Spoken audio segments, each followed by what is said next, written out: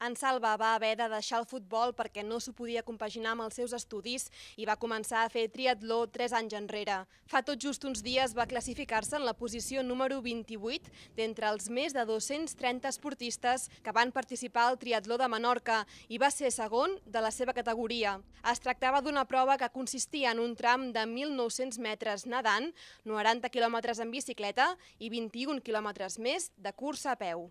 Res, doncs ens vam apuntar al mes de febrer amb un, amb un amic que es diu Rubén, que també va aquí al gimnàs i fa triatló, i bueno, eh, quan vam, vam veure que s'acostaven les dates vam començar a entrenar així una mica fort, i res, quan vam arribar allà doncs tot molt bé, l'organització molt bé, els paisatges molt bé, la part de natació amb, en aquelles aigües que són molt clares també molt bé.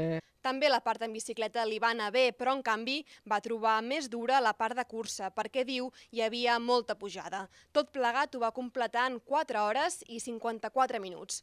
El proper repte serà a finals d'aquest mes a Eivissa, on participarà en un triatló encara més dur, en què haurà de fer 4 quilòmetres nedant, 120 de bicicleta i 30 quilòmetres de cursa.